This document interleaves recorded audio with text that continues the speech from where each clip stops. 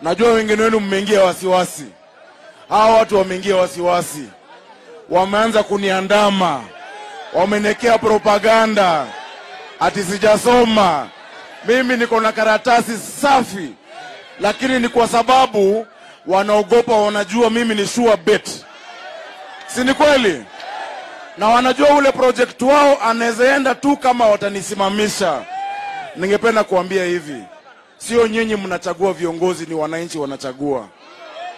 Sio nyinyi mnachagua viongozi, ni Mungu anachagua. Tukutane kwa debe, tutanyorosha hiyo projekti yenu asubuhi, arudi kule kwa bank, si ndio hiyo? Wangapi mtasimama na mimi kijana wenu? Asanteni sana. Ya pili na ya mwisho, majamaa, mimi nimegrow hapa hivi, hata wakati hiyo ilami haikuwa kuna huu kijana amenibeba kwa matatu vile alikuwa anaendesha matatu hapa. Ile siku tulitoka hapa, nilitoka shule nikapata tumefukuzwa kwa sababu ya rent haijalipwa. Mimi nawaelewa, mkiniona mavijana, mpo mkiniona na mniangalie vizuri, tofauti yangu na yako ni gani? Hakuna tofauti, ni vile tu nimepata nafasi nikapenya.